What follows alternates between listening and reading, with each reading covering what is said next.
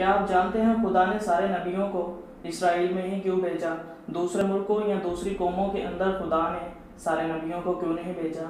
मेरे एक दोस्त ने मुझसे सवाल पूछा कि खुदा ने सारे नबियों, सारे पैगम्बरों को इसराइल में ही क्यों भेजा?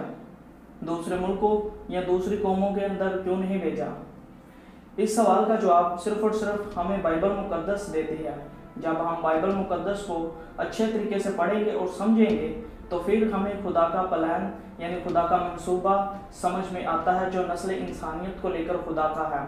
क्योंकि इस सवाल का जवाब दुनिया की और कोई भी किताब नहीं देती।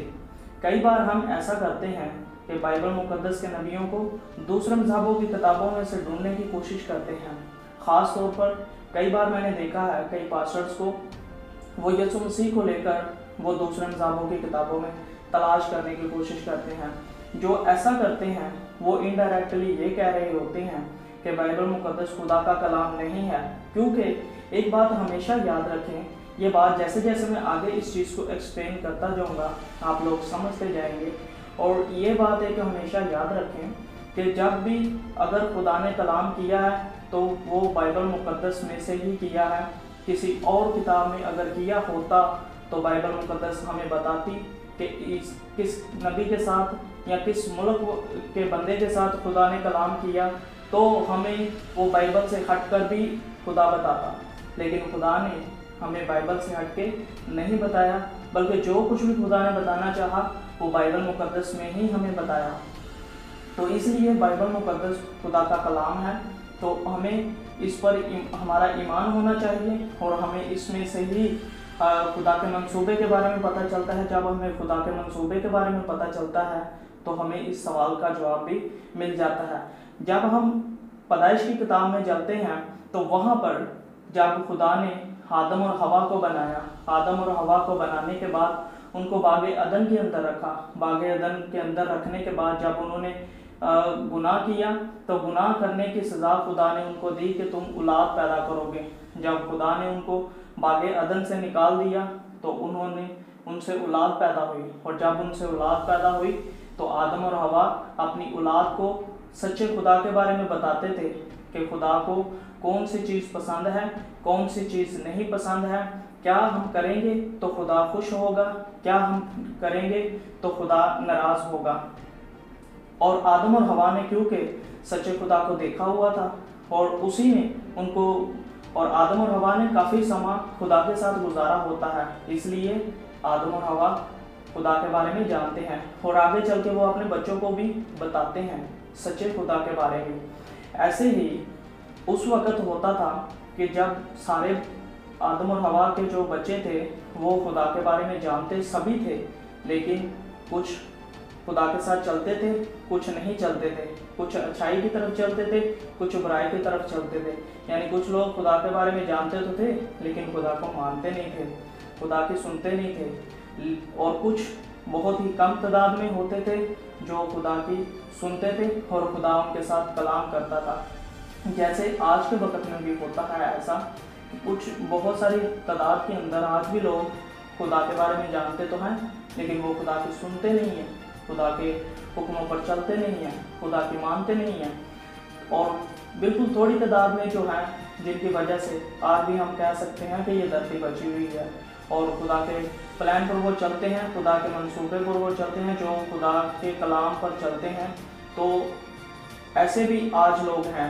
और उस वक्त भी ऐसे ही होता था कि कुछ खुदा के, खुदा की बातों को सुनते थे, कुछ नहीं सुनते थे। और जो सुनते थे, खुदा के, जिनके साथ कलाम करता था, उनमें से उस वक्त एक इब्राहिम था।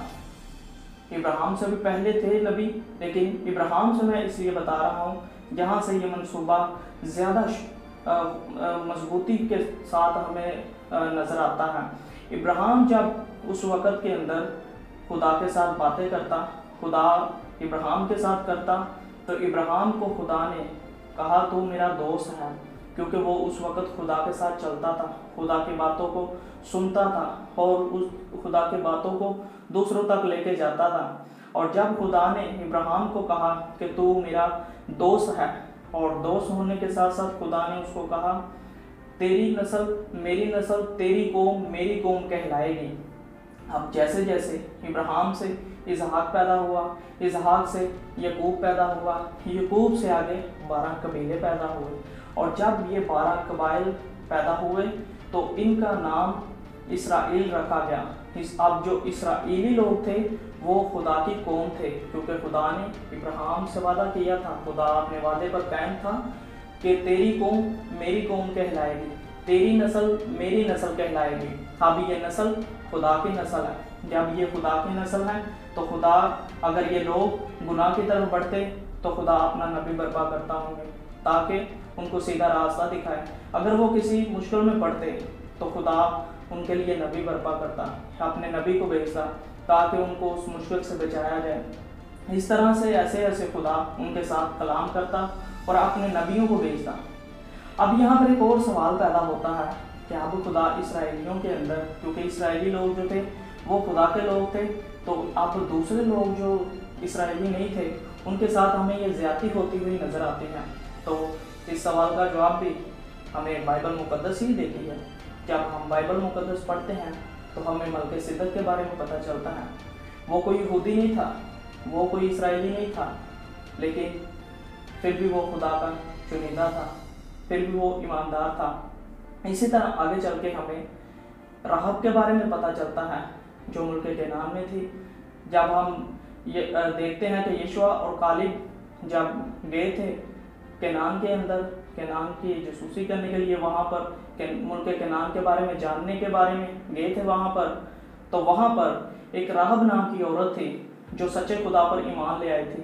क्योंकि वो ऑलरेडी पहले से ही उसने जब खुदा के बारे में सुना था अभी जब उसने सुना था कि एक कौम मिस्र से निकल कर आ रही है तो उस वक़्त के आस पड़ोस के सारे मुल्कों के अंदर जितने भी लोग थे, सब लोग इसराइलियों के बारे में जान गए थे कि उनका एक सच्चा यहोवा पा खुदा है, जो उनको छुड़ा कर लेकर आ रहा है। और सभी लोग उस सच्चे खुदा के बारे में जानते थे। जैसे अभी आज अमेरिका सुपर पावर है। अमेरिका के साथ अगर कुछ भी होता है तो पूरी दुनिया के अंदर ही ये बात फैल जाएगी। ऐसे ही उस वक़्त मिस्र भी सुपर पावर था। तो उसके साथ जो हुआ, वो सारी दुनिया उस वक़्त जानती थी। तो इसी तरह से पूरी दुनिया के अंदर सच्चे खुदा के बारे में चर्चा होने लगा कि उनका एक इसराइलियों का एक खुदा है, जिसका नाम यहोवा है। वो अपने लोगों को छुड़ा कर लेकर आ रहा है। ऐसे ही राहब ने भी सुना था और राहब भी सच्चे खुदा पर ईमान लेके आए। फिर जब यशुआ और काली वहाँ पर पहुँचे तो उन्होंने उनसे फिर जब उसकी मुलाकात हुई तो उसने सच्चे खुदा के बारे में और डिटेल से जाना उनसे। और जब उसने जाना और वो ईमान लेके आए इसी तरह से उस वक़्त एक चीज़ ऐसी थी जो, यानी शरीयत जो किसी भी इंसान से पूरी होना नामुमकिन थी। लेकिन यही सच्चे खुदा के पास लेके आने से दूसरों को रोक रहे थे और यहूदी लोग भी अपने अंदर गैर कौमों को शामिल नहीं करना चाहते थे, क्योंकि वो इस बात पर फख्र करते थे कि हम खुदा की कौम हैं। तो वो दूसरों को भी छोटा समझते थे और अपने आप को बहुत बड़ा समझते थे। लेकिन यीशु मसीह ने इस चीज़ को ख़त्म करने के लिए, जब हम देखते हैं गलतियों, उसका तीन बार तेरह आयत के अंदर यीशु मसीह ने पलोस रसूल फरमाते हैं, यीशु मसीह, हमारे लिए लानती बना और उसने शरीयत की लानत से हमें छुड़ाया। हमारे गुनाहों के वास्ते उसने सलीब पर जान दी और वो जुदाई को उसने ख़त्म कर दिया। उस शरीयत को जो हमें खुदा से दूर करती थी, क्योंकि शरीयत को कोई भी इंसान पूरा नहीं कर सकता था। इसलिए उस जंजीर को यसु मसीह ने तोड़ दिया और अब हमारा रबता डायरेक्ट खुदा के साथ कर दिया, ताकि अब इंसान और खुदा के दरमियान कोई चीज़ ना आए। अब पहले फरिश्तों के थ्रू बात होती थी, लेकिन अब इंसान की डायरेक्टली यानी रोहल कुदस के ज़रिए से खुदा के साथ बात होती है। तो इस जंजीर को खुदा यसु मसीह ने तोड़ दिया। और आज भी हम देखते हैं कि सारी दुनिया खुदा के हजूर किसी भी वक्त कैसे भी हालात में हो, वो आ सकती है। खुदावन यसु मसीह को अपना निजात दहिंदा कबूल कर सकती है। सो आज वक्त है, आपका भी खुदावन यसु मसीह को कबूल करें। क्योंकि आसमान के तले, ज़मीन के ऊपर, आदमियों को कोई और दूसरा नाम नहीं बख्शा गया, जिसके वसीला से हम निजात पा सकते हैं। वो एक ही नाम है और वो यसु नाम है, जो इस दुनिया में आया था और अब फिर दोबारा आने को है। वो जल्द से जल्द आने वाला है और वो आपके इंतज़ार में है। आप जल्द से जल्द उसको कबूल करें और उसके मौजूदात को अपनी ज़िंदगी के अंदर देखें और अपनी ज़िंदगी को बदलता हुआ देखें। मेरा ये यीशु आपको जल्द से जल्द तब्दील करने वाला है। खुदा आप सबको